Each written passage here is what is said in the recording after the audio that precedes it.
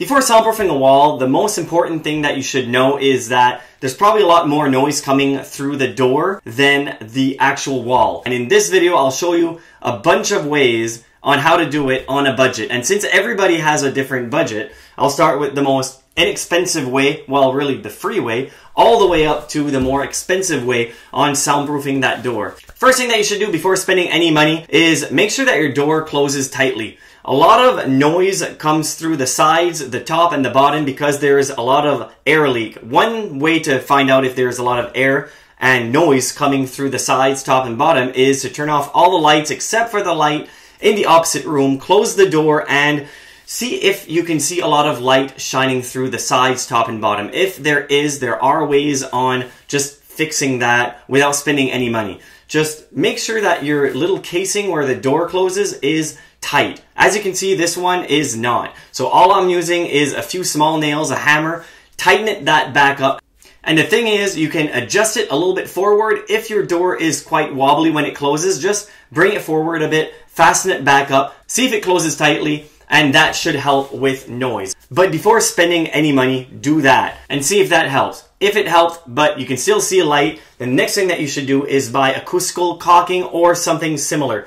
Anytime that you have the word acoustic or soundproofing in any types of products, it just raises the price. So there are different products that work similarly. The difference between just regular caulking that is not silicone is that it stays rubbery over time. And that's important because as you open and close the door, you might get cracks in the other types of caulking. Now, acoustical caulking, you don't have that. It's guaranteed to just stay rubbery and sealed.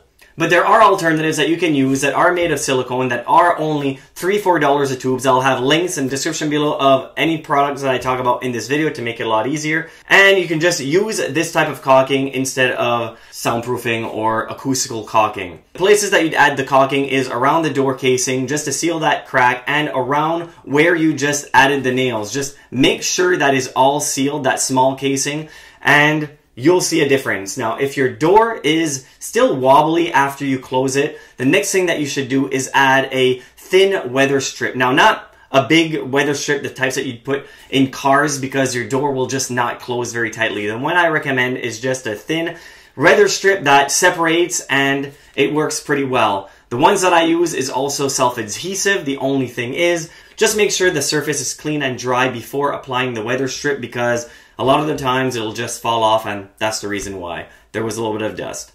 So just add the weather strip on that small casing and if you find that the door doesn't close properly because of that, then you can adjust the small casing and make sure the door closes tightly. Now once you've added the weather strip and the caulking, well, you shouldn't see any light coming through the top and both sides of the door. Next thing that you'll want to do is seal the gap at the bottom of the door. Now, yes, it will restrict airflow. So the door sweep that I recommend is a U-shaped door sweep. These ones just come in one size. You can cut them to size and you just slide it in and you don't have to permanently attach it to the door. So you can just slide it in and out if you only need to have the door completely sealed for a few hours a day if you're just doing something. But if airflow, not a problem because of ventilation in the room already, you can just leave it right there. You can even screw it right into the door so it's there permanently, no problem. And what's nice, even if you're renting, you can do these things and actually most of the stuff on this list you can do even if you're renting. Now the door is completely sealed. If that's not enough, you can change your hollow core door to a solid core door. Most interior doors are hollow and will let more noise in than having a more solid door. If you've ever opened one of these doors up, you'll see that they're not actually completely hollow. Usually a cardboard honeycomb just so the door stays intact. The door stays solid,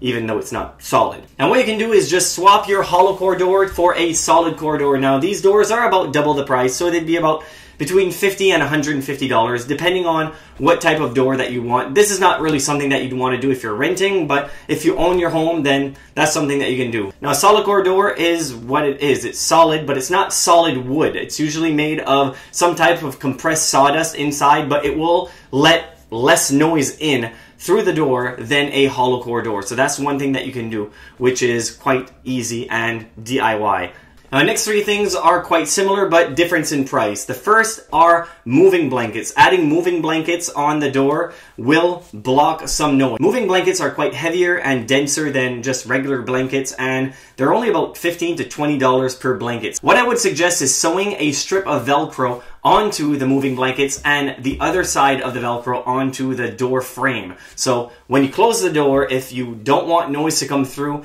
just doing that and sealing it up will help a lot more than just hanging it over the door and having that big gap all around the door where it's just hanging. Next one is a thermal door panel. Now these are more for heat and cold transfer, but they are quite thick and they do help with blocking sound. Now these things, just like the blankets, also deadens sound inside the room. So a lot of people would use that if you have a recording studio so it works at blocking a little bit of noise from going through the door and also it makes, it absorbs noise and makes the, the sound in the room sound better. And also it reduces the echoes inside the room, so it helps with acoustics inside a room. So it works in a few ways. And these thermal panels are around $80. Another thing that you can add to the door is a soundproof or sound deadening door panel. Now these are usually custom made and they are extremely heavy and they do block quite a lot of noise. More so than I thought it would. I did a sound test on one of these panels a few years back. I'll leave the link in the description below of that sound test and you can hear for yourself. It was quite heavier than I thought. These things are packed with a lot of soundproofing and sound deadening material, including insulation and mass loaded vinyl and other stuff in it just to block the noise. So it is a little bit more than just adding some blankets over the door, but it does work quite well at blocking more noise than I thought and actually deadening the noise inside the room. These things can cost between two to three to four hundred dollars depending on the type and the size of the door that you have. You can go a lot cheaper also and just buy some sound deadening curtains. You can buy just one big sound deadening curtain panel. Now these types of curtains have three layers usually. The middle part is a black felt and it's more for blocking light because they usually call these types of curtains blackout curtains, but they do block a little bit of sound. So you can use that, but it will not work as well as a dedicated soundproofing or sound deadening door panel. Number nine is something like weather stripping around the door, but it goes a lot further than that. This is around 50 to $60 and it's a door seal kit. Now these types of metal and rubber seal kits, they do work a lot better. I did a sound test on one of these seal kits a few weeks ago or a few videos ago and it works quite well. It is around $50, $60. It is more permanent because you have to drill them right into the door casing. So, but if you're renting, that shouldn't stop you because you can just buy some spackle, some mud and add those into the holes and holes are gone. Landlord will never know. Nobody cares. And you can just use them in your next home. Next one is if you are going to be changing the door, it wouldn't be a bad idea to buy some soundproofing door hinges. Now these door hinges are a little bit more expensive than regular ones because they there's absolutely no cracks or gaps where sound could go in, whether your hinge is open or closed. Now, a lot of the times this is not necessary, but if you are going to go and spend a lot of money on a dedicated soundproof door, a solid wood door, let's say, then it's not a bad idea to actually look into hinges because you will need to upgrade the hinges if you go ahead and buy a solid wood door, which is better at blocking noise than a solid core door. But a solid wood door is quite expensive. Depending on the ones you want, you can go from a few hundred dollars to well over a thousand dollars for a solid wood door.